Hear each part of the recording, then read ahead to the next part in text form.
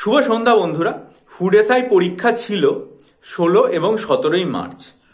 পনেরোই মার্চ ছিল হচ্ছে বিহার পাবলিক সার্ভিস কমিশন আয়োজিত বিহার টিচার রিক্রুটমেন্ট এক্সামিনেশন। কিন্তু খুব দুঃখের বিষয় যে সেখানেও প্রশ্নপত্র লিক হয়ে যায়। এখন প্রশ্নপত্র লিক হওয়ার এই ব্যাপারটা সারা ভারতবর্ষ জুড়ে অনেক কটা পরীক্ষাতেই দেখা গেছে। পনেরোই মার্চে বিহার রিক্রুটমেন্ট এক্সামিনেশনের প্রশ্নপত্র লিক হয়ে যাওয়ার পর সেখানকার পুলিশ মোটামুটি দুশো ছেষট্টি জনকে গ্রেপ্তার করেছে। এই খবরটা সর্বভারতীয় নিউজ এইটিন ইন্ডিয়া বা ইন্ডিয়া টুডে এবং অন্যান্য যে কোনো তোমরা নিউজ চ্যানেলে গেলে ইন্টারনেটে সার্চ করলেই দেখতে পাবে। এবং তারপর বিহার পাবলিক সার্ভিস কমিশন যে সিদ্ধান্তটা নিয়েছে, সেটা হচ্ছে যে বিহারের এই যে রিক্রুটমেন্ট এক্সামিনেশন সেটাকে পুরোপুরিভাবে বাতিল করা হবে।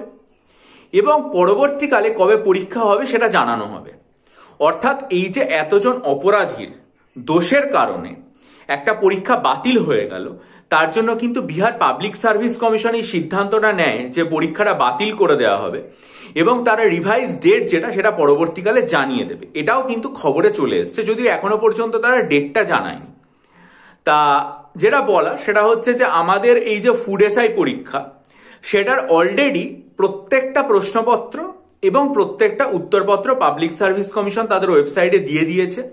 এবং তারা যেটা জানিয়েওছে একটা সুনির্দিষ্ট সময়ের মধ্যে, কার কি কোয়ারিজ আছে বা যার যেটা বলার উত্তর কি ভুল মনে হচ্ছে, এগুলো তাদেরকে জানাতে। পরীক্ষা হয়ে যাওয়ার পর অনেক পরীক্ষার্থী আমাকে মেসেজ করেছিলেন এবং জিজ্ঞাসা করেছিলেন যে পরীক্ষার কাট অফ মার্কস যেটা রয়েছে সেটা নিয়ে আলোচনা করতে। আবার গতকাল যখন প্রত্যেকটা প্রশ্নপত্র এবং তার সাথে ষোলো ও সতেরো তারিখের উত্তরপত্রও দিয়ে দেওয়া হলো, তারপরেও অনেকে আমাকে বলেছেন যে এই যে পরীক্ষাটা সেটার কাট অফ মার্কস কত হতে পারে সেটা নিয়ে আলোচনা করতে। কিন্তু সত্যি কথা এটা, সেটা হচ্ছে কাট অফ মার্কস নিয়ে আলোচনা করার যে আগ্রহ, সেটা আমি একেবারেই মানে মনের ভেতর থেকে পাচ্ছি না। যদি পেতাম তাহলে আগেই আমাকে বলতে হতো না, আমি কাট অফ মার্কস নিয়ে আলোচনা করতাম।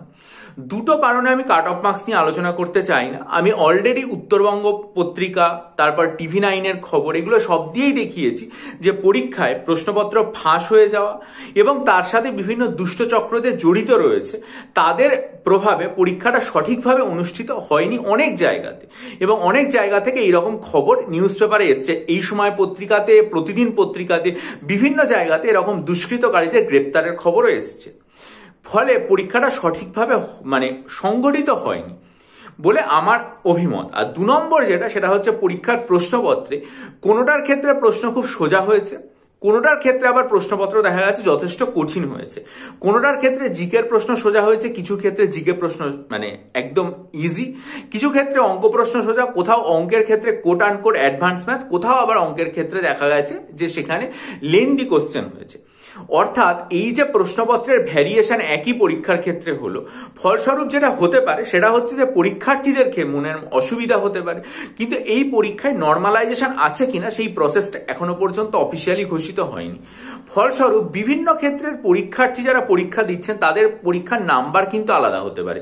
অর্থাৎ একজন পরীক্ষার্থী, তিনি ফার্স্ট শিফটে পরীক্ষা দিয়ে হয়তো যতটা নম্বর পেতেন, তিনি সিক্স শিফটে পরীক্ষা দিয়ে কিন্তু ততটা নম্বর নাও স্কোর করতে পারেন। কারণ প্রশ্নপত্র দুটো শিফটের ক্ষেত্রে ধরন আলাদা ছিল বলে আমার ধারণা।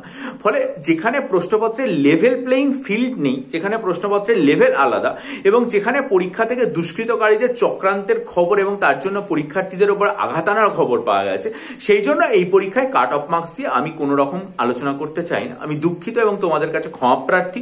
বহু পরীক্ষার্থী আমাকে অনবরত মেসেজ করেছে, বারবার জিজ্ঞাসা করেছে, এমনকি ইমেল করেও জানিয়েছে যে, যদি কাট অফ মার্কস কেমন হতে পারে? মানে পূর্ববর্তী যে ভিডিওগুলো সেই ভিডিওগুলোর কমেন্ট সেকশনেও জানিয়েছে যে আমরা এরকম অ্যান্সার করি যেমন আমার অনেক ছাত্রই আমাকে জানিয়েছে যে, আমি স্যার একানব্বই পাচ্ছি, ঠিক আছে? তাহলে মোটামুটি এটা পেলে কি হবে? কেউ বলছে, স্যার, আমি চুরাশি পাবো।